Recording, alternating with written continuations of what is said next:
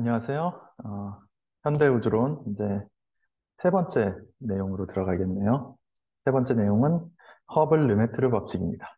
어, 이전 수업에서도 얘기했듯이 이제 우리가 허블 법칙이라고 알고 있는 것은 어, 이론적으로 이 빅뱅 우주론, 이제 현대 우주론의 핵심이라고 얘기할 수 있는 빅뱅 우주론을 어, 이론적으로 최초로 정립한 사람이 르메트르이고 허블의 관측 보다도 한 2년 앞섰고 그 업적을 어, 충분히 인정해 줘야 된다라는 천문학계의 어떤 어, 관점에서 이제 허블 법칙은 허블 르메트르 법칙이라고 이야기를 한다고 했었죠. 그리고 사진에 나와 있는 이두 분이, 이 분이 이제 허블이고요. 어, 이 분이 르메트르죠. 자, 일단 어, 허블에 대해서는 인물적인 얘기를 한 적이 없으니까 허블을 좀 먼저 소개를 해줘 볼게요. 에드윈 허블이라고 하는 이 천문학자는 미국 출신의 천문학자고요. 음, 어떻게 얘기하면 될까요? 이분은 이제 옛날식으로 얘기를 하면 엄친아라고 볼 수 있고요. 어, 요즘식으로 좀 속된 표현을 쓰자면 뭐 사기캐, 재능충 뭐 이런 식으로 얘기를 할 수 있을 것 같아요. 이분은 어, 공부도 잘했고 운동, 운동도 잘했고 말도 잘했고 스타성도 있고 심지어 외모도 잘생겼죠. 모든 걸 다 가지고 있었던 사람이다. 이렇게 생각을 하면 돼요. 우리가 알고 있는 허블은 굉장히 저명한 어, 과학자인데 천문학자인데 운동도 매우 잘했다고 하죠. 그래서 고등학교 때는 뭐 육상대회 1등을 7번이나 했다고 하고요. 농구도 엄청 잘해서 슈팅 가드로 뛰었다고도 하죠. 학교 대표 선수로도 뛰었다고 하네요. 근데 막상 어, 대학교에 진학해서는 어, 수학과 과학, 뭐 철학 이런 것들을 배우고 어, 이학 학사 학위를 받았다고 해요. 시카고 대학에서. 그리고 갑자기 뜬금없이 영국으로 넘어가서 옥스퍼드에서 법학 공부를 3년간 했죠. 네, 이미 여기까지만 봐도 상당히 어, 대단한 사람이란 걸 느껴지죠. 갑자기 법학 공부를 한 이유는 간단해요. 허블의 아버지께서 허블이 법학 공부를 하기를 원했었다고 하더라고요. 그래서 아버지의 말을 잘 듣는 효자였는지 법 공부를 3년간 했다고 하죠. 그러다가 1913년에 아버지께서 돌아가셨대요. 허블은 이 뭐야 자연과학을 공부할 때 이미 천문학에 대한 관심이 너무 많았다고 하죠. 아버지가 돌아가시고 나서는 더 이상 법을 계속 공부해야 할 어떤 동기 부여가 떨어지게 된 거죠. 그러니까 다시 미국으로 돌아와서 돌아온 첫 해에는 뭐 특별히 어, 대학원이나 이런 데를 들어가지 못했나 봐요. 그래서 자기 고향에서 고등학교 교사를 했다고 합니다. 고등학교 교사를 하면서 어, 학생들에게 수학이나 물리학, 스페인어, 미국 사람인데 스페인어도 잘했나 봐요. 대단하죠. 네, 이런 것들을 가르치, 가르치다가 어, 다음에 자신의 모교 시카고 대학에 있는 여키스 천문대, 여키스 천문대도 굉장히 유명한 곳입니다. 그 별의 광도 계급 만들어낸 데가 여키스 천문대죠. 아무튼 이곳에서 천문학 박사학위를 3년 만에 수여를 했네요. 네, 그러다가 갑자기 또 세계 1차 대전이 생기니까 발발하니까 참전까지 해서 어, 어, 정확히 기억이 안 나는데 언뜻 듣기로는 대령까지 진급을 했다고 합니다. 어, 그러다가 어, 이제 미국 서부로 넘어와서 카네기 과학연구소 산에, 산하에 있는 이제 LA 근처에 있어요. 어, 윌슨산 천문대에서 어, 여생을 근무를 하면서 윌슨산 천문대에 있는 이제 후커 망원경이라고 해서 당시 기준으로 보면 세계에서 거의 제일 큰 망원경이었거든요. 그 망원경을 사실상 자기 개인 소유물처럼 어, 엄청나게 활용하면서 관측을 하고 수많은 업적을 냈다고 하죠. 그러다가 1953년에 사망을 했습니다. 여러분들은 허블이 매우 유명해서 천문학을 전공하지 않을 사람들도 이름은 다 들어봤을 겁니다. 허블 우주 망원경도 있잖아요. 그렇죠? 근데 이렇게 유명하니까 막연하게 허블은 당연히 노벨상을 탔겠지라고 생각할 수 있는데 허블은 안타깝게도 노벨상을 수상하지 못했습니다. 왜냐하면 허블은 천문학자인데 어, 노벨은 천문학상은 없잖아요. 노벨 물리학상이 있는데 과거에는 이제 물리학계가 천문학을 연구하는 사람들에게 물리학상을 주는 거에 대해서 상당히 부정적인 관점에서 봤다고 해요. 그래서 허블에게 기회가 가지 않았고요. 어, 실, 실제로 이제 이전에 허블이 리비트가 노벨상을 수상해야 된다 뭐 이런 주장을 많이 했다고 했었잖아요. 근데 리비트가 일찍 사망하는 바람에 노벨상을 타지 못하고 그러다 보니까 허블에게도 기회가 가지 못한 상태로 어, 수상을 못했습니다. 여담인데 안타깝게도 이제 찬드라 세카르라고 하는 인도 출신의 아주 저명한 천체 물리학자가 있어요.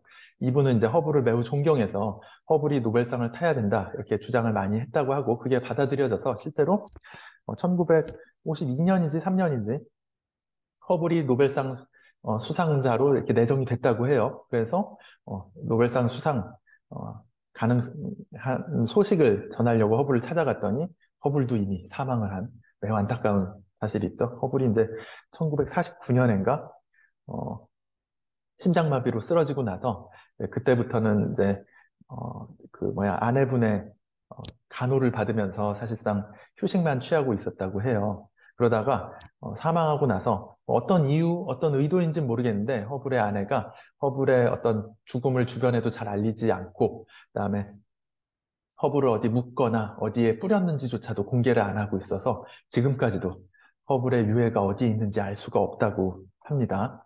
네, 아무튼 네, 허블은 그랬다고 하고요.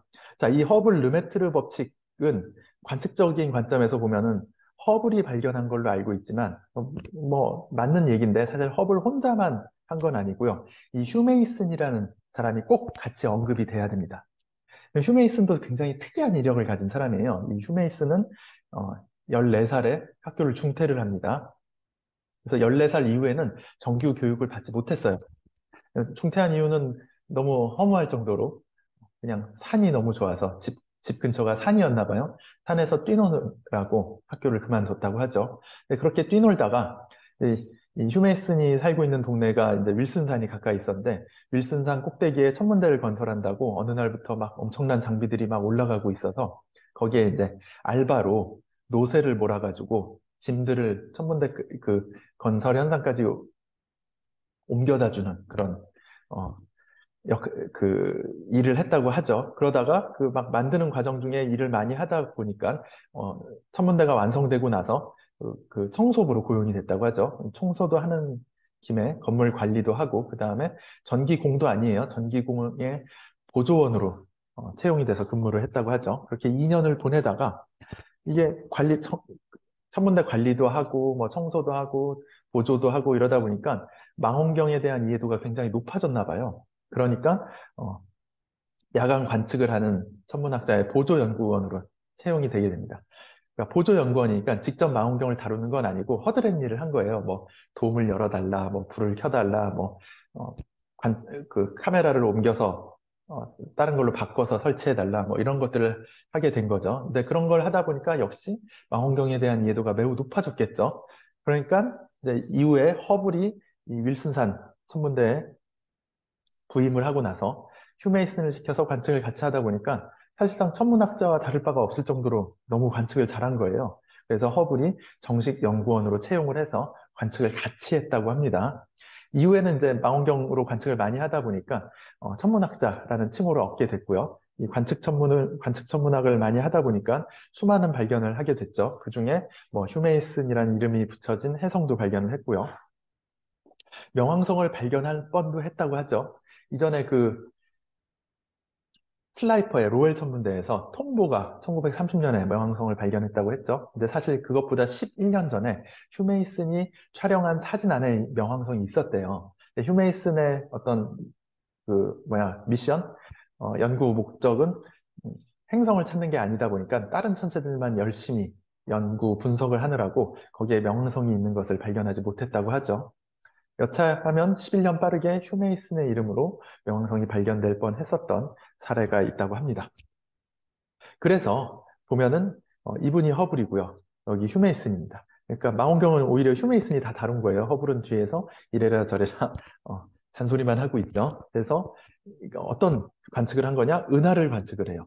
은하를 관측을 해서 휴메이슨은 그 은하를 관측한 것에 어, 도플러 효과, 즉 우리로부터 얼마나 멀어지고 있는지 이 적색 편의를 바탕으로 후퇴 속도를 측정을 한 거고요. 허블은 그 은하까지의 거리, 이전에 얘기했던 리비트 법칙을 활용을 해서 은하까지의 거리를 측정을 한 겁니다. 그러면 수많은 은하들의 거리와 후퇴 속도를 측정을 하고 두 개를 비교해 보면 두 개가 어떤 상관관계가 있는지 나오겠죠. 근데 그 상관관계가 놀랍게도 거리에 따라서 일정하게 후퇴 속도가 증가한다는 걸 찾아낸 거예요. 그래서 첫 번째 논문이 1929년에 나온 논문이죠. 보면은 X축이 거리고요. 파색 단위네요. Y축이 후퇴 속도입니다. 속도라고 되어 있는데 이 천문학 역사상 매우 중요한 논문인데 사실 오타가 있죠. 속도라면 단위가 킬로미터 per sec여야 되는데 그냥 킬로미터라고 적혀 있네요. 네. 그래서 매우 유명한 역사적 논문에 단위에 오류가 있다라는 흥미로운 사실도 알 수 있을 겁니다. 그래서 관측 결과를 이렇게 점으로 찍어 보니까 살짝 퍼져는 있지만 거리가 멀수록 속도가 높아지는 관계는 보이잖아요. 그렇죠? 그래서 어, 거리에 따라서 후퇴 속도가 빨라지고 있다는 걸 찾아낸 겁니다. 자, 그러면 이제 뒤에 더 자세하게 얘기를 하겠지만 이 거리에 따른 후퇴 속도의 비로 표현될 수 있는 이 그래프의 기울기, 이 기울기가 의미하는 게 뭘까요? 이 기울기가 의미하는 게 바로 이제 뒤에 언급될 허블 상수라는 겁니다. 이 허블 상수를 정확히 아는 게 매우 중요해요. 나중에도 계속 언급을 하겠지만 허블 상수를 정확히 알면 수많은 것들을 알 수 있거든요. 대표적인 게 우주의 나이를 알 수 있습니다. 우주의 나이를 정확히 알려면 허블 상수를 정확히 알아야겠죠. 그러면 이 기울기가 이 경우에는 관측 그 은하를 하나 더 관측할 때마다 기울기가 막 많이 바뀌게 돼요. 그럼 허블 상수를 아직 정확하게 안다고 할 수 없겠죠. 그럼 이 허블 상수를 정확히 알 수 있는 방법은 뭐가 있을까요? 그렇죠. 몇 가지가 있을 텐데 제일 중요한 건 더 많은 관측 데이터를 가지고 있으면 더 정확히 알고 있을, 알게 될 거고요. 그 다음에 또 하나는 더 먼 거리까지의 은하를 관측하게 되면 이 그래프가 좀 더 명확해지겠죠. 그렇죠? 기울기가. 그래서 두 번째 논문이 바로 2년 뒤에 나온 이 논문입니다. 이때는 휴메이슨도 논문의 저자로서 이렇게 등재가 됐네요. 보면은 두 번째 논문 그래프를 보면은 이 빨간색 네모칸 친 영역이 바로 첫 번째 논문에 해당하는 영역이에요. 그러니까 훨씬 먼 곳까지의 은하까지 관측을 했네요. 이러면 그래프가 확실히 이것보다는 좀 더 기울기가 명확하게 정해지겠죠. 그렇죠? 이런 식으로 어, 관측을 했다. 그래서 어, 허블이 이 결과를 통해서 매우 단정적으로 이런 얘기를 하죠. 이 결과들을 통해서 성운들, 이제 는 은하라고 불리는 이 은하들의 후퇴 속도와 은하들까지의 거리 사이에는 대략적인 선형 관계가 있음을 알 수 있다 라는 결론을 내립니다. 네. 그리고 앞에서도 얘기했듯이 이 발견은 결국 우주가 팽창하고 있다라는 사실을 설명을 하게 되는 거고요. 따라서 아인슈타인의 정적인 우주론이 폐기가 됐죠. 그래서 허블의 이 발견이 최초의 발견이 있은 후 2년 뒤에 1931년에 어, 아인슈타인이 허블의 이 관측 결과를 결, 관측 결과에 대해서 감사의 의사, 의사도 표현하고 이 관측을 해낸 어, 이 천문대 구경도 할 겸 이 윌슨산 천문대를 여행할 겸 찾아갑니다. 그래서 이때 막 어, 증명 뭐냐 기념사진을 찍었죠. 허블 보면 잘생기기까지만 한 게 아니라 키도 엄청 크네요. 네. 그리고 여기 있는 요 분이 바로 휴메이슨입니다. 아인슈타인은 다 알죠. 사진만 봐도. 네. 이때 또 흥미로운 일화가 있죠. 사진에는 아인슈타인만 있지만 이때 아인슈타인이 자기의 부인도 데리고 갔다고 해요. 아인슈타인의 부인한테도 천문학자들이 막 가서 막 약간 자랑하듯이 이 엄청난 이 망원경 관측기기들을 막 보여주면서 의시됐다고 하죠. 우리는 이러한 엄청난 장비들을 이용해서 우주를 이해하려고 하고 있다. 이렇게 자랑을 하니까 허블의 아니, 아인슈타인의 부인이 어, 네, 이렇게 얘기를 했다고 하죠. 아 그래요? 내 남편은 어, 편지봉투 뒷면에다가 우주를 이해하고 있던데요. 이렇게 얘기를 했어요. 굉장히 멋진 얘기죠. 그러니까 뭐 다 이해는 했겠지만 뭔 말이냐면 아인슈타인은 뭐 이런 대단한 기기를 쓰지 않아도 그냥 편지봉투 뒷면 이면지에다가 끄적끄적 계산 조금 하는 걸로 우주를 이해하고 있다. 이렇게 얘기를 받아친 겁니다. 굉장히 멋진 얘기죠. 어, 참고로 이제 윌슨사는 이전에 얘기했듯이 LA 로, 로스앤젤레스 근처에 있어요. 그래서 막 그 윌슨산 천문대가 건설됐던 당시에는 LA도 막 발전하고 있는 상태는 아니어서 밤하늘이 어두워서 관측하기 매우 좋은 환경이었는데 시간이 지날수록 LA가 발전을 하면서 도심이 엄청 커지면서 이 빛 공해가 너무 심해져서 지금은 윌슨산 천문대에서 어떤 연구 목적으로 관측을 하는 건 사실상 불가능해지고 그냥 어, 관광객들의 견학 목적으로서 어, 와서 관광 목적으로서만 이제 운영이 되고 있다고 합니다. 매우 안타깝죠. 버블이 알면은 어, 매우 안타깝게 생각할 겁니다. 자, 이제 본격적으로 이론적으로 들어가서 따라서 허블 르메트르 법칙은 뭐냐? 어, 말로 먼저 표현하자면 은하가 멀어져 가는 속도는 즉 후퇴 속도는 우리로부터 거리에 비례한다 라는 것을 설명하는 관측 법칙입니다. 관측적으로 알아낸 법칙에서, 법칙이에요. 그래서 이 허블 법칙식은 경험식입니다. 어떤 이론적인 계산으로 만들어낸 식이 아니라 그리고 이 허블 르메트르 법칙은 우주가 팽창한다라는 것에 대한 최초의 관측적 증거예요. 자, 이게 왜 우주 팽창을 얘기하는지는 좀 뒤에 얘기를 일단 할게요. 이 식을 이제 찬찬히 뜯어보면 좌변에 있는 요 VR, 얘가 바로 은하들의 후퇴 속도입니다. 얘는 휴메이슨이 도플러 효과를 통해서 관측을 해낸 거죠. 그 다음에 요 D가 바로 은하까지의 거리입니다. 얘는 허블이 리비트 법칙을 활용을 해서 즉 세페이드 변광성을 이용을 해서 측정을 하게 된 거예요. 그랬더니 두 개의 상관관계를 얻게 된 거죠. 그러면 요 상관관계에 해당하는 상수, 즉 기울기, 그래프로 따지면 기울기에 해당하는 값이 바로 허블 상수인 겁니다. 이 H0라고 쓰여 있는 게 허블 상수예요. 자, 허블 상수는 단위가 이렇게 됩니다. 킬로미터 per sec per 메가파섹. 얘를 이렇게 쪼개서 보면은 이렇게 해석이 되는 거죠. 1메가파섹 떨어져 있는 거리, 1메가파섹 거리에 있는 은하가 몇 킬로미터 per sec의 속도로 멀어지고 있냐를 설명하는 게 바로 허블 상수다. 라고 어, 해석을 하면 돼요. 뭐 이 허블 상수는 아까 이제 우주의 나이를 포함해서 다양한 정보들을 알 수 있어서 매우 정확하게 측정을 하는 게 중요하다고 했잖아요.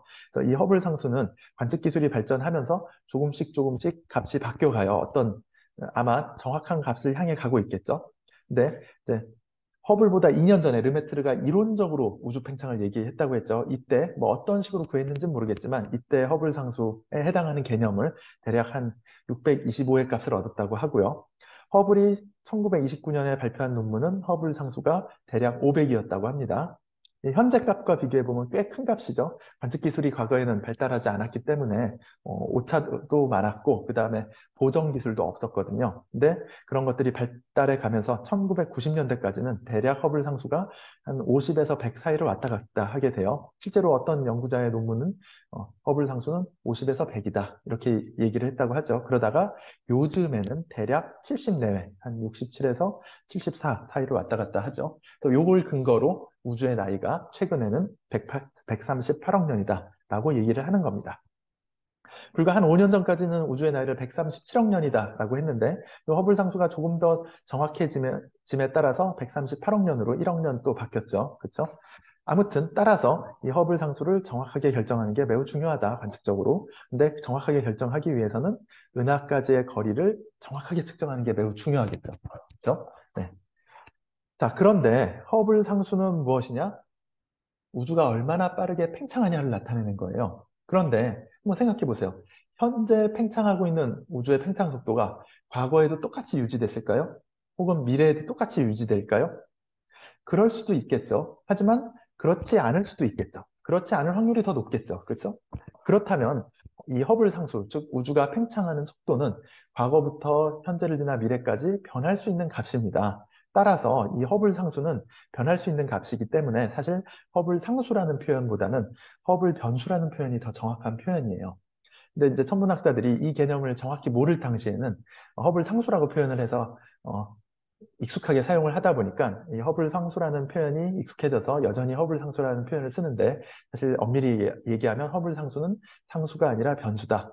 그렇다면 이제 허블 상수라고 표현하는 것은 이 h 뒤에 제로라는 값을 붙여서 현재에 해당하는 값이라고 이해를 하면 되겠습니다. 과거는 좀 다른 값을 가질 수 있고요. 과거 값을 구한다면 걔는 h0라고 쓰지 않고 그냥 h라고 쓴다.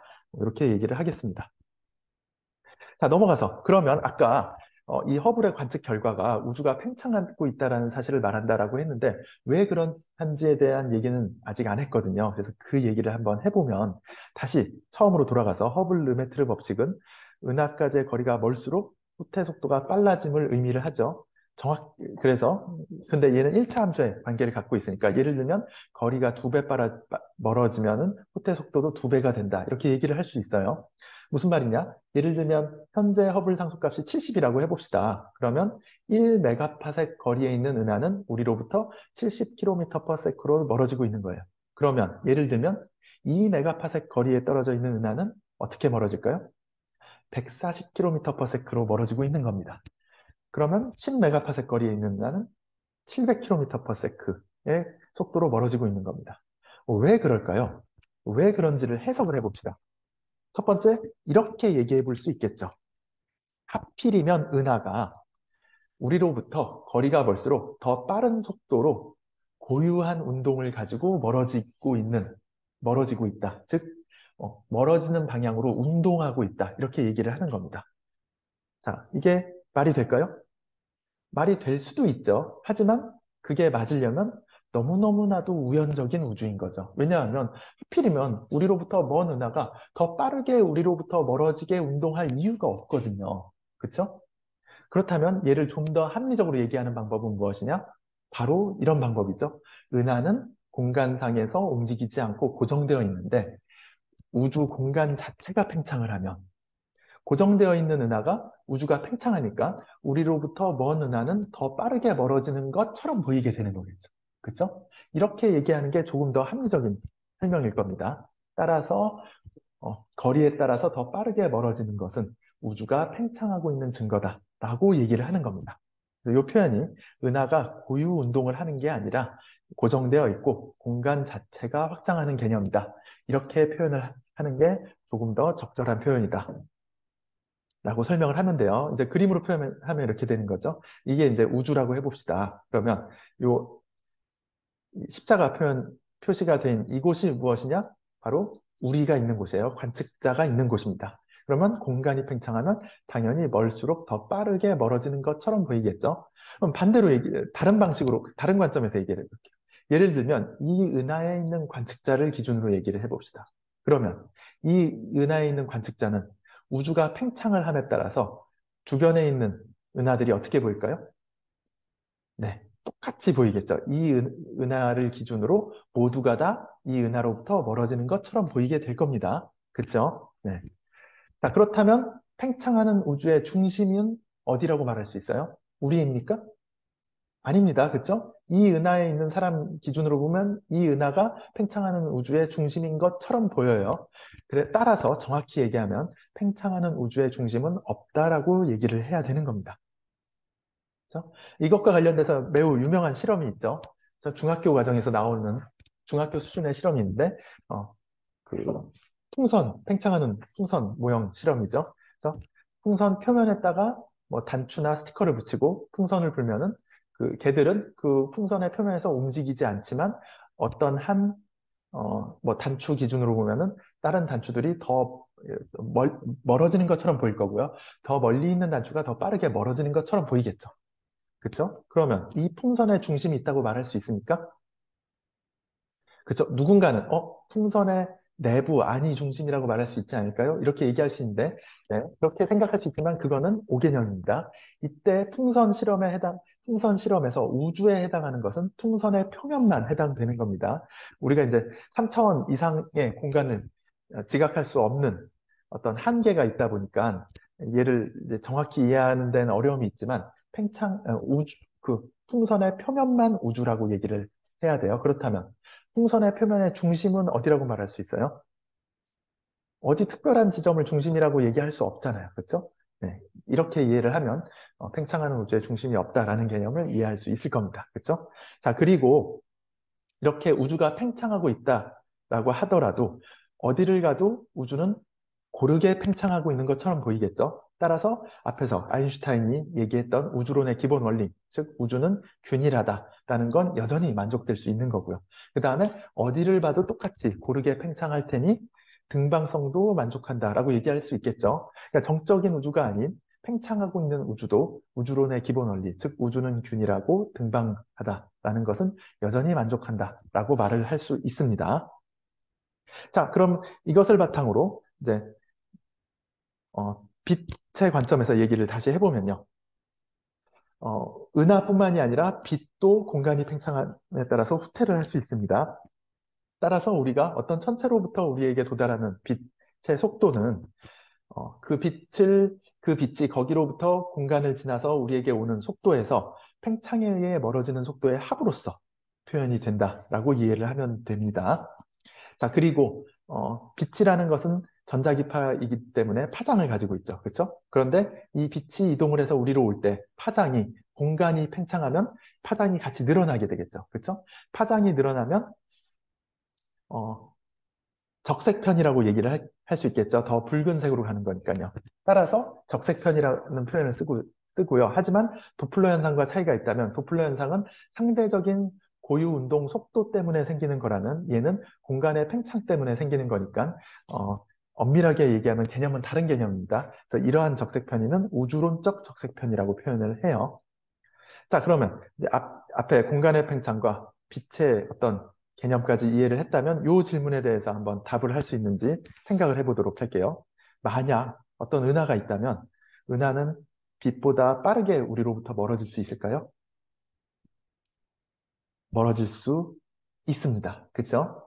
네, 물리학적인 개념에서 보면 상대성 이론으로 보면은 어, 빛보다 빠르게 운동할 수 없습니다. 네, 따라서 앞에서 내가 예시를 들었던 만약에 은하들이 운동을 우리로부터 먼 거리가 더 빠르게 멀어지고 있다라고 설명을 한다면 운동 속도는 빛의 속도를 넘어설 수 없기 때문에 빛보다 빨라질 수 없을 거예요. 따라서 그러한 우주가 있다면 멀어질수록 어, 은하들의 운동 속도는 빛의 속도에 수렴하는 방식으로 어, 운, 운동을 할 겁니다. 하지만 은하는 고정되어 있는데 공간이 팽창한다라고 한다면 공간의 팽창은 운동의 개념이 아니잖아요. 그러니까 충분히 먼 곳, 즉 후퇴 속도가 빛보다도 더 빠르, 빨라질 수 있을 만큼 먼 곳으로 간다면 은하는 우리로부터 빛의 속도보다도 더 빠르게 멀어질 수 있을 겁니다. 그렇죠? 자 그렇다면 그 그러한 빛보다 더 빠르게 우리로부터 멀어지고 있는 은하는 우리가 관측이 가능할까요? 그렇죠. 관측할 수 없겠죠. 그렇죠? 왜냐하면 거기서 출발한 빛의 속도는 광속인데 걔가 우리로부터 멀어진 속도는 광속보다 빠르니까 우리에게 절대로 도달할 수 없게 될 겁니다. 그렇죠? 네. 자, 넘어가서요. 자, 그렇다면 이제 몇 가지 개념만 더 하고 마무리를 할게요. 허블 타임, 즉 허블 시간이라는 개념이 있습니다. 자, 얘는 정의부터 얘기하면 허블 상수의 역수입니다. 얘가 무엇을 의미하냐라고 한다면 우주의 나이를 의미하게 됩니다. 허블 타임은, 허블 시간은 우주의 나이입니다. 자, 왜 그러냐? 예를 들면 어떤 은하가 있는데, 어떤 임의의 은하가 있는데, 그 은하가 어, 우리로부터 V 아래 속도로 멀어지고 있다고 해봅시다. 근데 그 은하까지 거리는 D라고 해봅시다. 그러면 그 멀어지고 있는 은하의 속도, 즉 VR로 D를 이동하려면 시간이 얼마나 걸릴까요? 우주의 나이만큼 걸리겠죠. 왜냐하면 그 속도로 거꾸로 돌아가서 그 속도를, 그 거리를 다 지나갔다라는 것은 우주가 최초 팽창하기 시작할 때 해당하는 위치까지 간 거잖아요. 그렇죠? 그러니까 우주의 나이를 의미하게 되는 겁니다. 그러니까 허블 상수, 그러니까 어, 우주의 나이라는 것은 d 어떤 은하까지의 거리를 은하의 후퇴 속도로 나눠준 것에 해당되는데 이 VR은 허블 르메트르 법칙에 의해서 HD잖아요. 그럼 D와 D를 나눠주면 H분의 1이 되는 거죠. 그렇죠? 네. 그래서 허블 타임은 어, H분의 1이다. 라고 보면 되겠습니다. 하지만 단 조건이 있어요. 여기 쓰여 있는데 선생님이 아직 얘기를 안 하고 지나갔죠? 등속 팽창하는 우주의 하나입니다. 그렇죠? 우주가 감속 팽창하거나 가속 팽창한다면 우주의 나이가 단순히 허블 상수의 역수로 설명될 수 없을 겁니다. 등속 팽창하는 우주에 한해서 어, Hubble time, 즉 허블 상수의 역수는 우주의 나이가 된다라고 얘기를 할 수 있습니다. 자, 그 다음에 두 번째 Hubble time이 나, 나, 나왔다면 Hubble length, 즉 허블 거리가 있을 거예요. 얘는 관측 가능한 우주의 크기입니다. 이게 뭔 말이냐면 만약 후퇴 속도가 빛의 속도에 해당하는 곳까지의 거리를 구한다면 얘는 우리가 관측할 수 있는 곳에 해당하는 거리잖아요. 그렇죠? 네, 그래서 관측 가능한 우주의 크기다라고 얘기를 할 수 있겠고요. 얘는 간단합니다. 허블, 법, 허블 르메트르 법칙에 후퇴 속도에 광속을 집어넣고 어, 거리에 대한 식으로 바꿔주면은 D는 H분의 C가 되겠죠. 이게 바로 관측 가능한 우주의 크기가 되는 겁니다. 이것과 관련된 내용을 이해할 수 있는 연습 문제가 있는데요. 한번 어, 이거는 이제 지금 내가 풀어주진 않을 겁니다. 한번 각자 계산을 해보십시오. 현재 허블 상수가 뭐 한 71로 주어져 있다 라고 한다면 얘의 역수가 우주의 나이잖아요. 얘의 역수를 구해보되 이때 나이, 우주의 나이를 연 단위로 해야 되는데 단위가 여기는 초잖아요. 그리고 거리가 킬로미터와 메가파섹으로 되어 있으니까 이 단위를 어, 환산해 준다면 어, 얘는 어, 이 허블 상수의 역수가 우주의 나이가 되는 거겠죠. 그래서 얘를 어, 한번 계산을 해보면 되고요. 자, 이런 우주는 어떤 상태를 가정한 것이냐? 우주의 어, 방금 전에 얘기했듯이 텅 빈 우주, 즉 등속 팽창한 우주를 의미를 하는 거죠. 우주가 등속팽창한다는 것은 텅 빈 우주를 얘기하는 겁니다. 왜냐하면 앞에서 아인슈타인의 생각, 우주에 천체들, 물질들이 있다면 개의 질량, 즉 중력 때문에 감속 팽창해야 돼요. 그러니까 등속 팽창한다는 건 우주 안에 아무것도 없다라는 걸 의미를 하는 겁니다. 그렇죠? 어, 이건 선생님이 답을 알려줬네요. 자, 그 다음에 허블이 당시에 허블 법칙을 알아낼 당시에는 허블 상수가 500으로 측정이 됐어요. 이렇다면 우주 나이가 어떻게 되는지 한번 어, 계산을 해보도록 하십시오. 자, 이번에는 Hubble flow라는 개념입니다.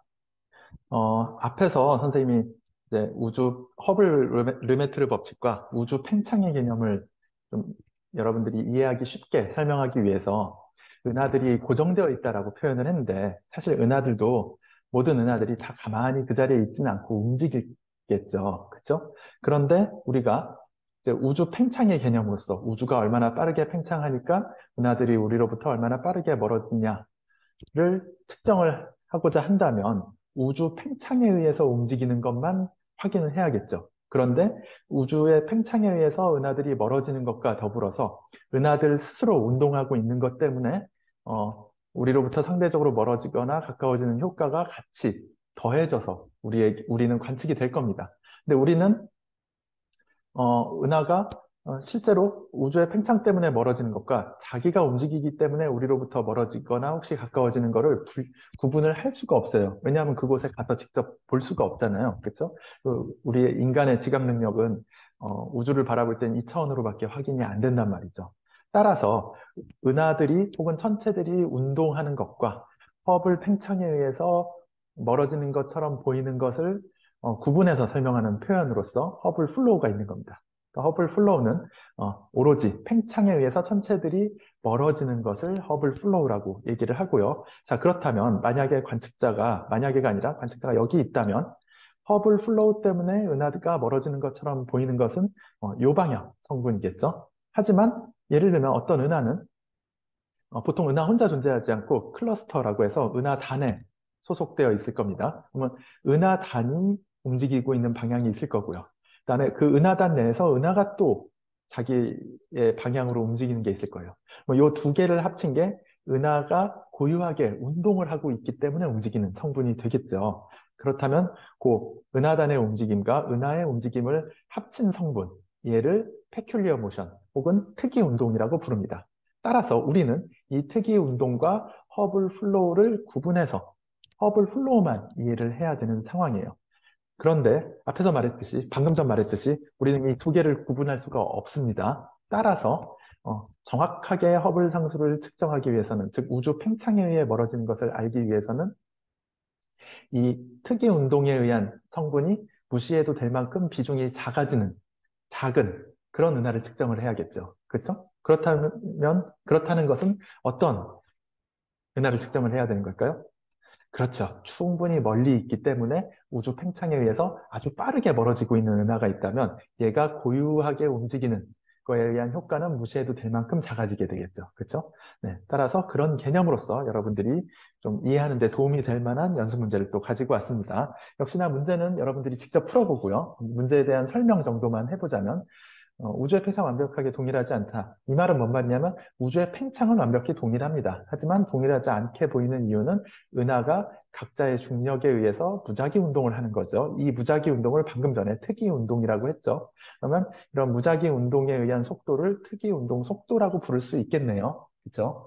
근데 아까 말했듯이 분리 못합니다. 따라서 일반적으로 평균적으로 은하의 이런 특이 운동 속도가 한 600km/s로 알려져 있어요. 그러면 이렇게 알려진 값이 주어져 있기 때문에 우리가 만약 허블 상수를 최소한의 오차 범위, 뭐 예를 들면 뭐 10%의 오차 범위로 구하고자 한다면 얼마나 멀리 있는 은하를 이용을 해야 할까를 계산으로 알아낼 수가 있겠죠. 그죠? 네. 따라서 어, 그런데 이때 허블 상수값이 알려진 값이 다르, 다르다면은 그죠? 그러면 어, 허블 상수값이 어떻게 알려져 있냐에 따라서 얼마나 멀리 봐야 되는지도 좀 달라질 겁니다. 그래서 그러한 개념을 확인해 보는 문항이 될 겁니다. 이 문제를 풀어보면 아, 이 Hubble flow와 은하들의 특이 운동을 어떤 식으로 분리를 해서 사실 분리는 못하지만 어떤 식으로 어, 특이 운동을 무시하고 Hubble flow만 최대한 알아낼 수 있구나라는 것을 어, 알 수가 있을 것입니다. 실제로 천문학자들이 이런 개념들을 활용을 해서 어, Hubble flow만 측정할 수 있는 수준의 은하를 최대한 관측을 하려고 노력을 하고 있어요. 그래서 요거 한번 문제를 풀어보도록 하십시오.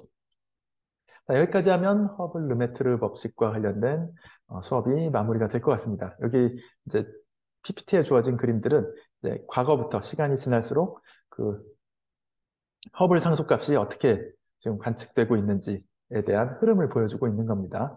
대략 한 70 내외에서 값이 주어지고 있죠. 요거는 이제 나중에 관심 있는 사람들은 찾아보십시오. 관측, 방, 관측 방법이 다르다 하더라도 우리의 우주는 하나이기 때문에 우주의 팽창에 의한 팽창 속도, 즉 허블 상수는 어떤 한 값으로 주어져야 될 거예요. 그런데 관측 방법이 다르면 어, 허블 상수값이 다르게 측정되는 경향을 요즘 보이고 있거든요. 얘를 허블 텐션이라고 불러요. 내가 수업 시간에 따로 얘기는 해준 적은 있을 겁니다. 그래서 우주 배경 복사를 이용해서 허블 상수를 측정하면 대략 67 내외의 값으로 수렴을 하는데 값이 어, 고전적인 방법, 은하까지의 거리와 후퇴 속도를 이용해서 측정을 하면 한 73, 4 내외가의 값으로 수렴을 하거든요. 이렇게 서로 다른 값으로 지금 수렴해 가는 현재의 관측 상황을 허블 텐션이라고 부르고 이게 현재 빅뱅 우주론에서 해결해야 될 문제 중에 하나입니다. 천문학자들이, 어, 그 다음에 물리학자들이 관심을 갖고 이것을 해결하려고 지금 노력을 하고 있다라는 정보도 알려주면서 오늘 수업을 마무리하도록 하겠습니다.